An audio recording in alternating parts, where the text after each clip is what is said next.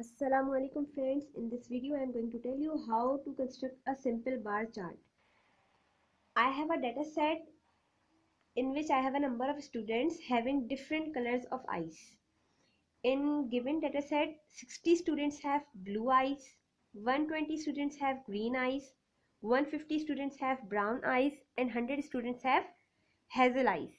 Now we will going to construct simple bar chart at horizontal axis we take eye color and at vertical axis we take frequencies which are which is our number of students. Now i am going to construct a bar for students having blue eyes. Blue total number of students are 60 so i mark here and simply draw a line here here and it looks like a bar. Now for the students having green eyes 120 10 20 40 60 80 100 and 120 line another line and it's also look like a bar now for the students having brown eyes these are 150 students.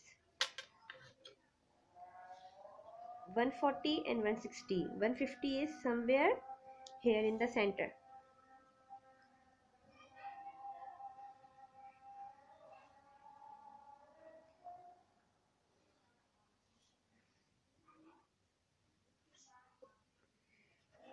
This bar is quite thin so I am going to widen it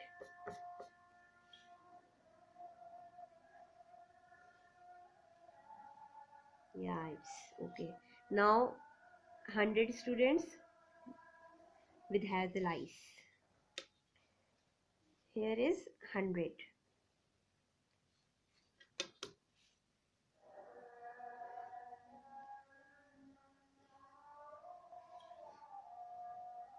now this graph clearly shows us most of the number of students in the class having brown eyes. Then green then hazel and the least number of students having blue eyes in the class. We can also show these bar with the help of colors. Mm, because colors are given here so i'm using the same colors blue for blue green for green. Otherwise it's your choice. Choose different colors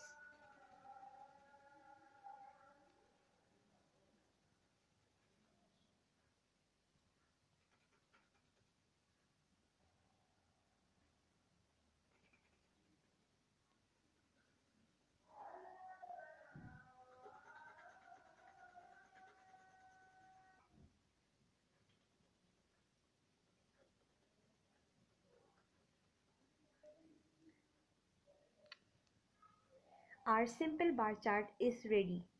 If you like my video then subscribe my channel for more lectures. Allah Hafiz